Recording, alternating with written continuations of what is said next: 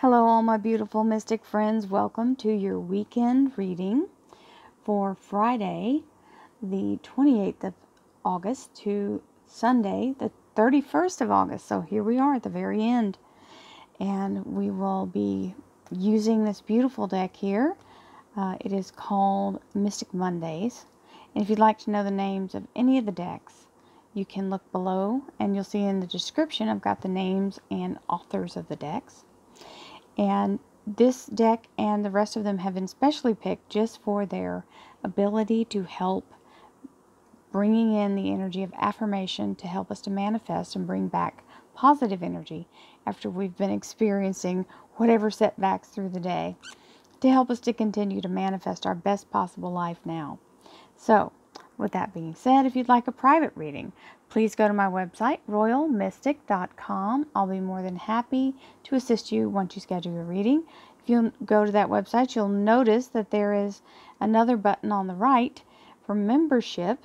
If you'd like to be a Mystic Tribe member, you can join. There's the two things. You can click the learn more and it'll, or find out more, and it'll take you to give you the explanations. And for those of you who have Apple products and don't see the join button down below, that's also part of the membership is right here in the middle.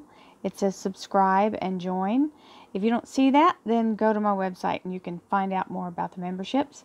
I'll be more than happy to have you. Please subscribe if you haven't. I'm so close to 100,000 um, followers. I would be so happy to reach that. So thank you in advance for your help. Let's get into the reading. Thank you, angels, archangels, divine, pure white light. And that went crazy. divine spirit, spirit guides, gods and goddesses, thank you so much for being present here to allow everyone to have the information they seek to assist them in remaining on their highest possible spiritual path. We thank you so much, Divine, for these blessings and beautiful messages, and we receive them in the love and light for which they are intended. We thank you for this divine guidance as always, and we welcome this blessed reading well. We've got our cards. I think we have an extra. Yeah, we have four cards. So we've got a four card energy. We'll take them all and see what they do. The last few days have been very positive. And we're starting off with a dump truck load of blessings here, so that's always, you know, it's going to be hectic, but it's going to be good. Oh, nice. We have a timekeeper, the Three of Swords. Three days, three weeks, three months, third time's a charm. We have Good Fortune as our top card here on our beautiful Law of Attraction deck. The universe provides me and my family with prospects for good fortune. So, so to say it say it and agree and bring it in, right? Worthiness. I feel worthy and have very special talents that will help me to achieve my dreams.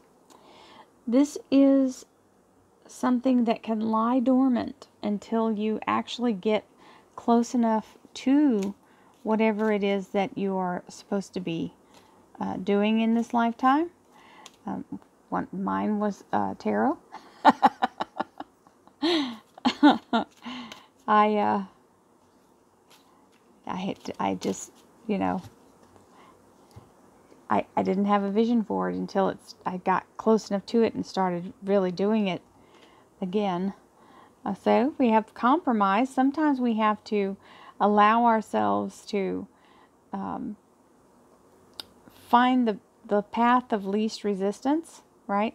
Um, and trying to take something and force it is never a good idea. So compromise is, is always a, if, if it's a win-win, it's always a better energy than if someone tries to force their will. So I'm a Libra, so compromise is part of my natural uh, uh, makeup. I like it to be balanced. Ooh, the magical donut. I love this. I know donuts aren't good for us now in COVID because they're not good at any time, but COVID makes you really want to eat a whole bunch of them, a whole box of donuts. And uh, this is the only safe one there is, guys. the others, the others just put on that COVID, COVID extra hunker down weight. So prosperity. The frequency of prosperity supports our feeling of well being by allowing us the inclusion of everything that makes our body, mind, heart, soul, and spirit sing. It invites us to express ourselves in joy and celebration of the abundance and riches that the universe provides. So, party in advance. I like to dance. Uh, in the mornings, I'll get put on something good on the music and uh, on on the whatever channel I can get on on the uh, Amazon that has something great and energetic and positive. And uh, Jack and I dance around the living room. He likes to run around in circles and jump around. When I get excited and I start moving, he gets excited and starts moving with me. And it is it is our celebration in advance of our victory for that day.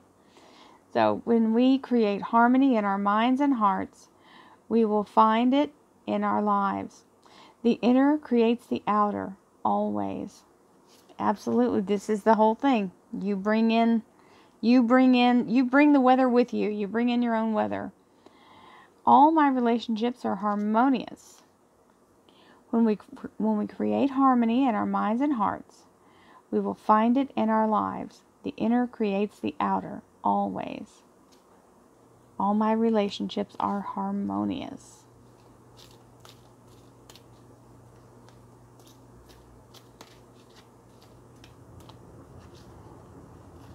Here we go.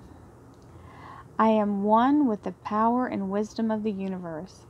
I claim this power, and it is easy for me to stand up for myself. I am totally adequate for all situations. I am one with the power and wisdom of the universe. I claim this power, and it is easy for me to stand up for myself. I am totally adequate for all situations. So there you go. It's going to be an inter- interesting uh, weekend energy.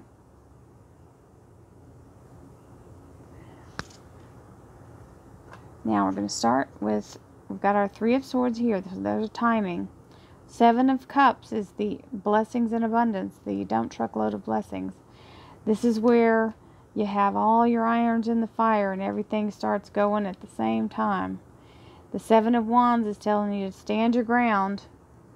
Hang in there. Don't give up. Don't settle. Give the universe time to do its thing. The Seven of Swords. Walk away from what no longer serves you. Don't try to carry all the things from your past and, and move into your future. We have to let some things go. This can mean walking away from a job that no longer serves you. Um, if you've got something good coming in in the meantime, that's wonderful. It also means purging what no longer serves you. So letting go of things that we have uh, stored in a, in the house in boxes in the closet that we haven't seen for five years, which I have recently experienced. I have an entire closet that I completely cleared out, and it's still empty. now we have the Three of Cups, which is the celebration energy. This is the universe tipping the cups in your favor, helping to fill your cup.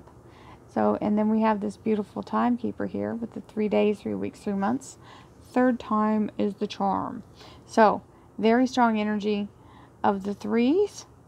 We also have two sevens here. Or, ooh, three sevens. So we have two threes and three sevens. I didn't even snap to that. Seven of cups, seven of rods, and seven of swords. So, there you go. Seven. Triple sevens, baby. That's a winner in Vegas. Many blessings to you all. May you have a triple seven weekend. I'll see you again next week. Namaste.